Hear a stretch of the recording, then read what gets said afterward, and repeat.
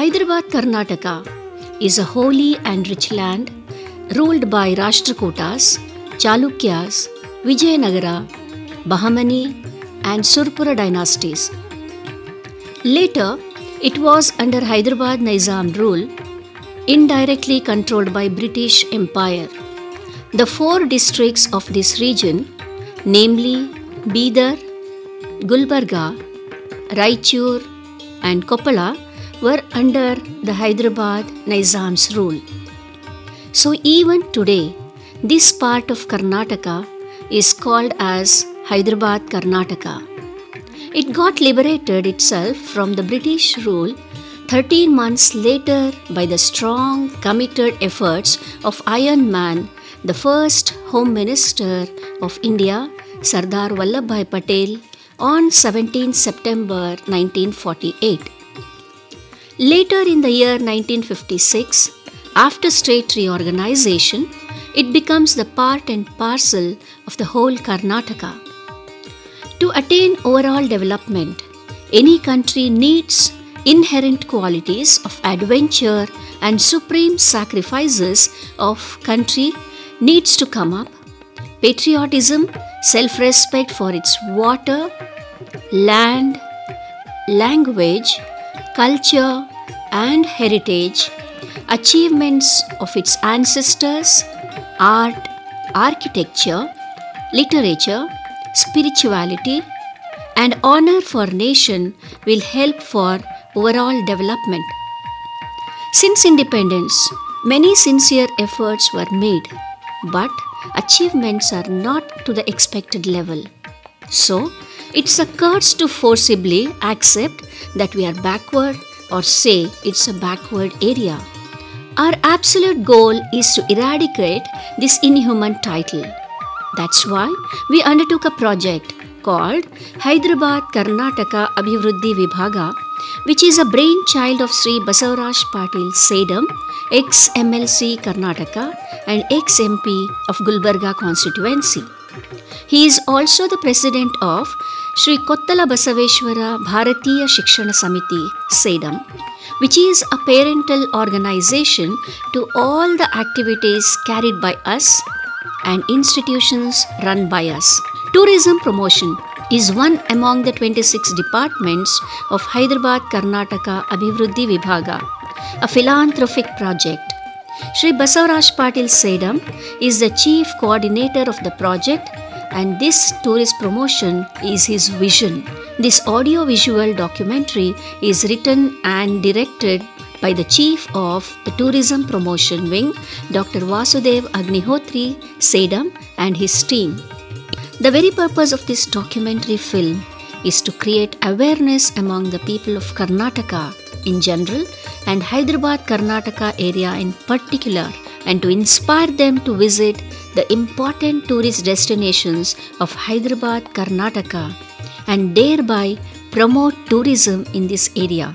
Through this, we want to change the attitude and mindset of the people and boost the level of confidence among the students and realize that how rich our heritage is. Koppala district. The wonderful journey of Hyderabad, Karnataka begins with Koppala district. It was in undivided Raichur district till 1997.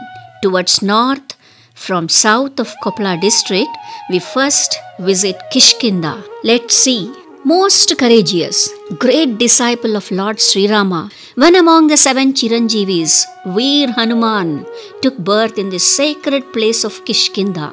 This place is also known as Anjanadri. Various incidents of epic Ramayana like Sundarakanda, war between Vali and Sugriva, meeting of Lord Rama with Hanuman happened here. Even today, there is a temple where the statue of Mata Anjana Devi, mother of Hanuman and young Hanuman, are existing. One has to climb around 600 steps to reach this wonderful and adventurous place. The natural beauty around the Kishkinde is magnificent. World Heritage Monument Hampi can also be seen from here on either side of the holy river Tunga.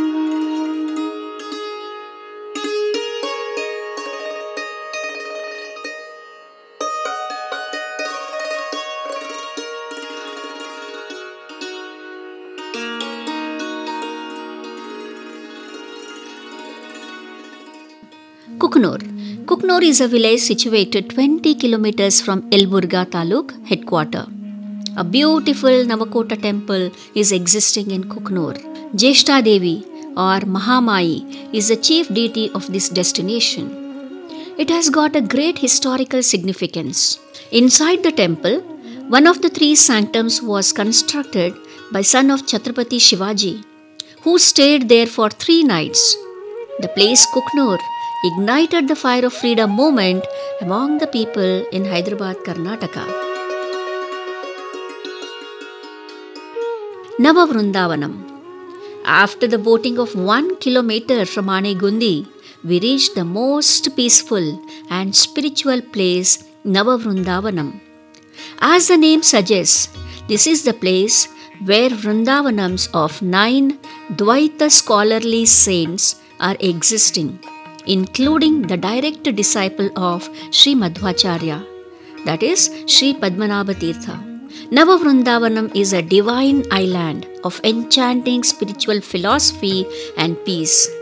For the last 500 years, this place has inspired immense spirituality among the people of this area. Throughout the year, thousands of people visit this destination and worship. Come and have a great experience in this destination. Pampa Sarovara, Kuladevata of Vijayanagara Kingdom, Devi Vijayalakshmi temple is existing in Anegundi. In front of the temple, a big ancient lake called Pampa Sarovara is situated. It is an attractive spot for the tourists. Especially the white lotus flowers inside the lake are most beautiful and gives a new experience to visitors. International tourist inflow is more to this destination. It is considered to be the Manasa Sarovara of Hyderabad Karnataka region. It is a divine lake dating back to the period of Ramayana.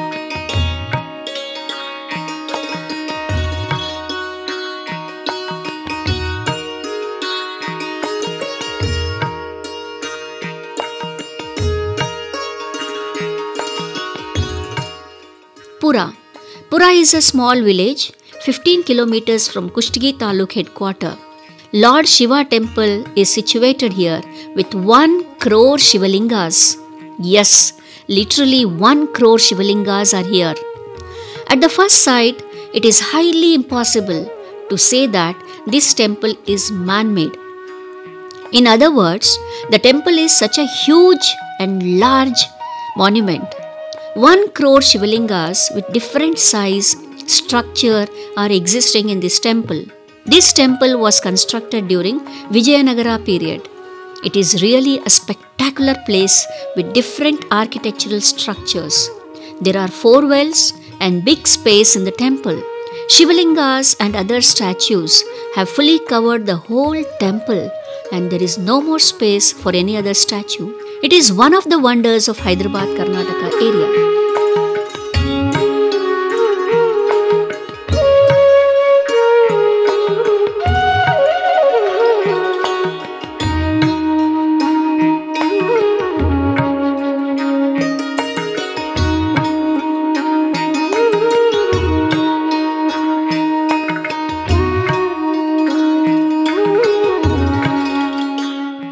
Kanakagiri Nawab Udchanaik, a local ruler with the grace of Sri Krishnadevaraya of Vijayanagar kingdom, constructed a big temple of Lord Narsimha in Kanakagiri.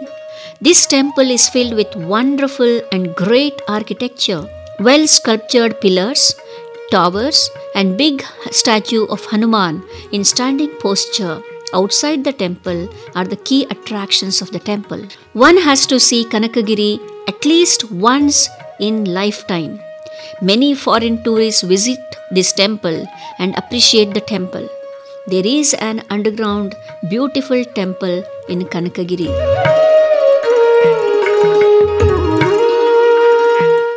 Itigi. This is a national monument protected by Archaeological Survey of India situated in Elburga Taluk of Koppala district. It is popularly known as Emperor of Temples. An army leader Mahadeva of King 6th Vikramaditya constructed this temple during 11th century in Chalukyan style of architecture. Wonderfully carved pillars, sanctums, statues are here. This temple is really a beautiful piece of Chalukyan architecture. This is called Belur and Halebeedu of Hyderabad, Karnataka region. There are several other tourist destinations in Koppala district like Gavimata, Palki Gundu and Munirabad Dam, Madnur, Hulagi. Anegundi is a place where we can see many important places like birthplace of Emperor Krishnadevaraya, Durga Hill, Ranganatha Temple, etc. Koppala district is famous for pomegranate fruits that is anar, toys of Kinnala, Jain temples, and freedom fighters like Mundargi Bhimaraya, Rangarao Desai. So, Koppala district is an ancient, popular, and beautiful destination worthy of visiting.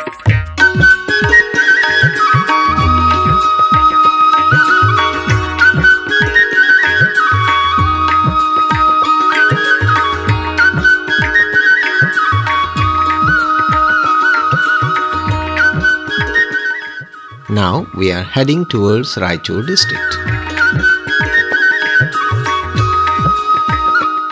This is a district of fairs and festivals. Two rivers, namely the Bhima and the Krishna, form the boundaries of this district. This is an important place for Haridasa literature. This is also a rice bowl of Hyderabad Karnataka region.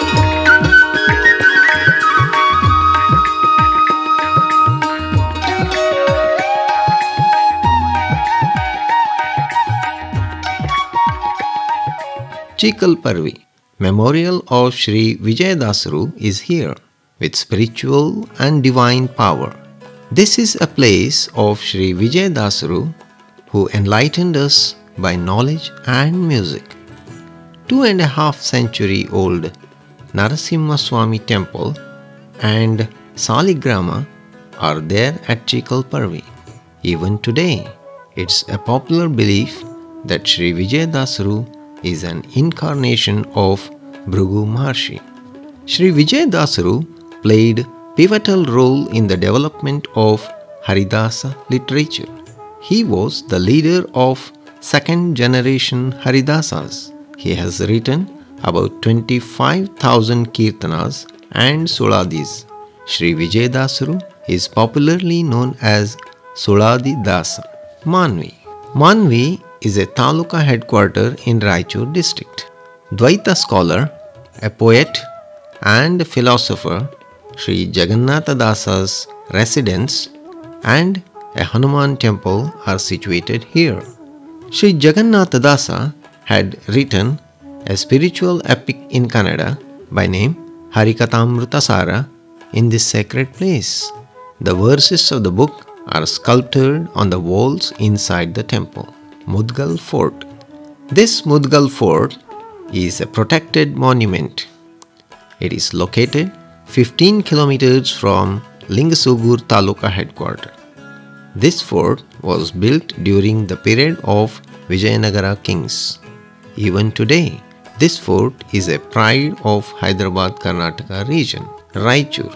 Now we are entering the city of Raichur. This is the thermal power station near the Raichur city, which provides electricity for North Karnataka area.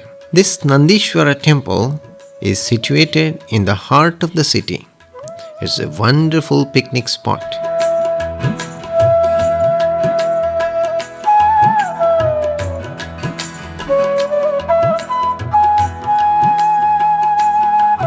It is on the bank of a lake. Several statues and structures are here. The importance of the temple is Navagraha statues and trees relating to each planet. Boating is a special attraction too.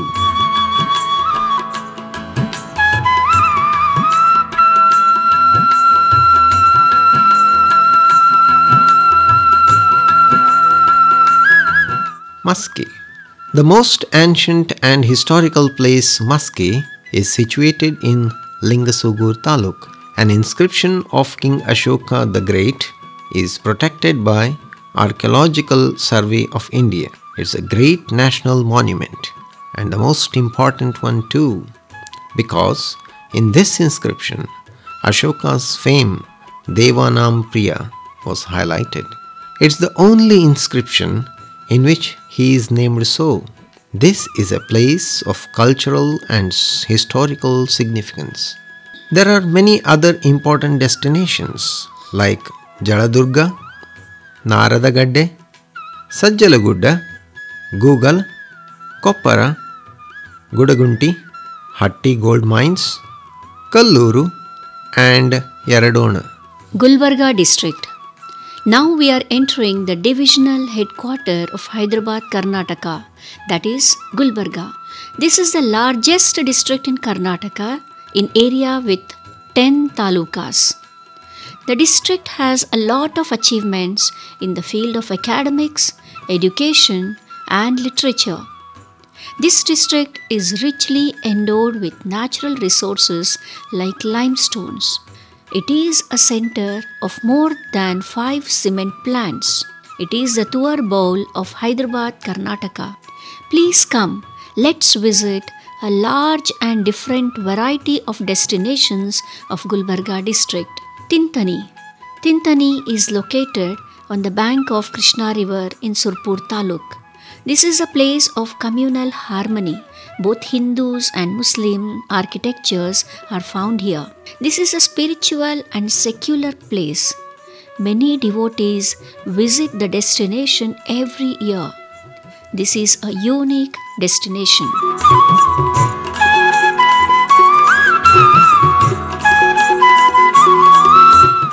Bonal Bird Sanctuary. Bonal Bird Sanctuary is located 10 kilometers from Surpur Taluk headquarter. Britishers noticed this bird sanctuary in the year 1884. They declared Bonal as a bird sanctuary. During November, December, and January, thousands of birds fly to this sanctuary from countries like Australia, Argentina, and Sri Lanka. Thousands of local birds also live here. This is a nature based tourist destination of Hyderabad, Karnataka area. Narayanpura Dam.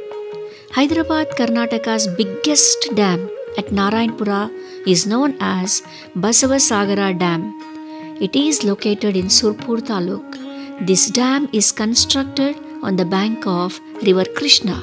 This dam is a gift to Raichur and Gulbarga district. This dam has contributed immensely to the growth of agriculture through irrigation in this area. This dam divides Raichur and Gulbarga districts. Left end canal is used by Gulbarga district and right end by Raichur. Shirwala Shirwala is a giant architectural place located 20 kilometers from Shahpur Taluk headquarter. It is on the bank of river Bhima which is a tributary of Krishna. This village is having three important temples which are known for their architectural beauty similar to that of Halebidu of Hoysalas. There are monolith sanctums with full of architectural beauty. There is a well in the temple complex having sculptured the story of the great epics Ramayana and the Mahabharata on each layered constructed stones. Ganagapur Ganagapur is a divine destination located in Afzalpur Taluk of Gulbarga district. It is about 40 kilometers from Gulbarga city. This sacred place is located on the bank of the rivers Bhima and Amarja Sangam. Chief deity of this place is Dattatreya.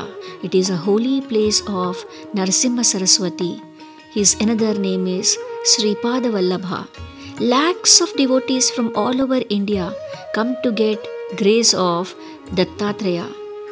Speciality of this holy place is Madhukari, means a divine begging. However rich the devotee may be, he has to beg food or some eatable from at least five houses, which is treated as holy prasada of God Dattatreya. At 12 noon every day, there is a special drum beat called Chaugada during the time of Arti. Many people find salvation from black magic and other negative forces. Other places like Sangama and Bhasma Hill can be seen here. Chanting of Guru Charitra at the Avadumbara tree is a special feature here.